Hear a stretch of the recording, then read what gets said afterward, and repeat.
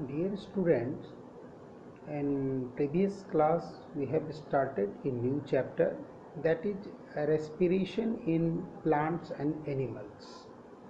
So first of all we have discussed a little bit about the respiration. Respiration you know very well uh, right from the beginnings. So breathing actually we are taking air inside and breathe out that is the not essential for body. So this is the breathing process. So in a nutshell you can say the breathing process. Have you think about this respiration? What is going on inside? What are the necessity? Why it is essential? What are going on further? What are the reactions inside the body what are doing. So basically whenever in previous class we have little bit discussed we are taking air inside and the carbon dioxide that is not useful us so we are breathe out so that is breathing process. So this is this part up to this part it is known as the external respiration. And the go air go inside to the lungs in human beings and the, at the cellular level this oxygen available into the air go to the food we are con- consuming for the development of our body so that oxygen go to combine to burn this nutritious foods or the nutrition or the diet we are taking. So after burning this the glucose is the main source that has to be break down into the simplest form and that will produce energy for the living beings.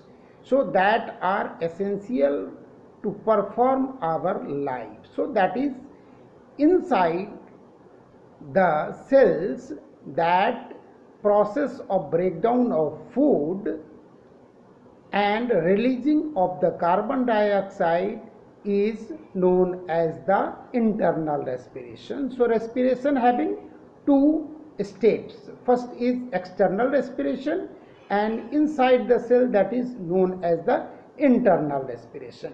What we have discussed in the previous class.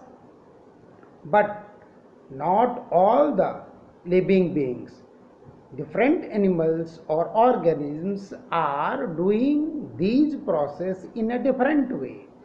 Human beings and all the vertebrates maximum they are utilizing their lungs for this utilizing this respiration. We have already discussed some lower insects like they are using the spiracles. Some are using like fishes gills. They are utilizing to participate into the respiration.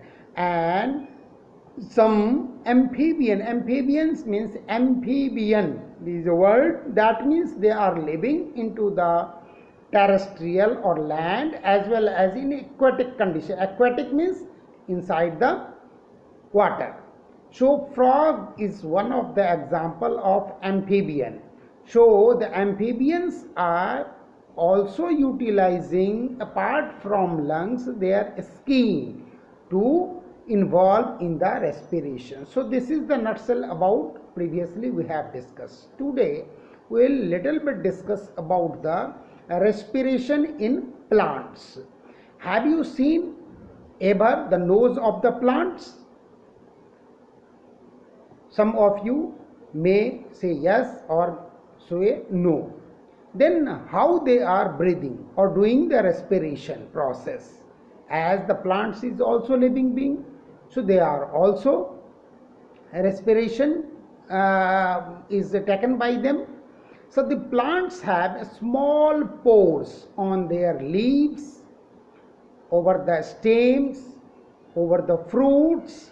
These pores are known as stomata but very prominently this stomata is available on the leaves on the green parts of the plants and leaves and these stomata are participating into the respiration.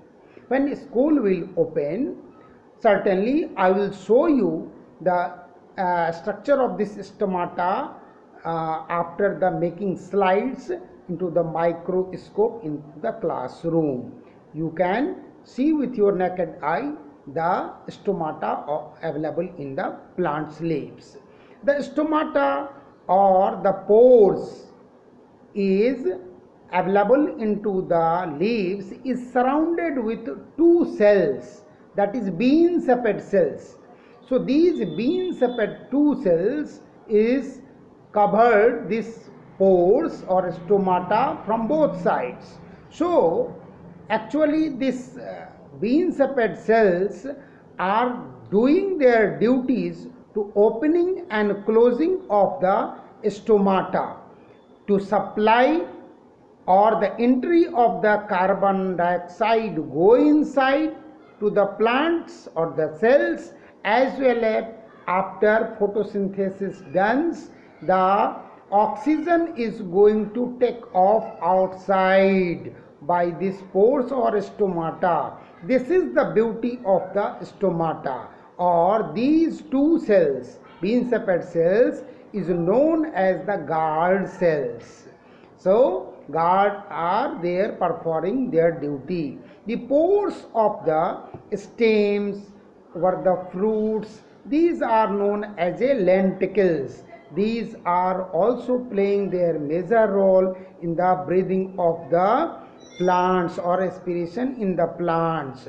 When you have to rub and wash the uh, upper skin of the potato and apples you can uh, see the pores available over the skin of the apples and potato. This is known as the lenticels roots are also taking participates in the breathing process. But how they are inside the soil? So how they are participating? Certainly you have to uh, see the gardener time to time they are digging out or some uh, soils is available surrounding their stems or the roots. So always they are time to time they are loosening this soil so why they are losing this soil?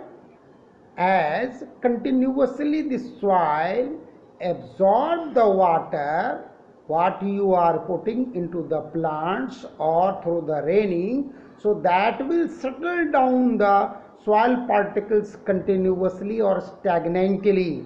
So air will not go inside.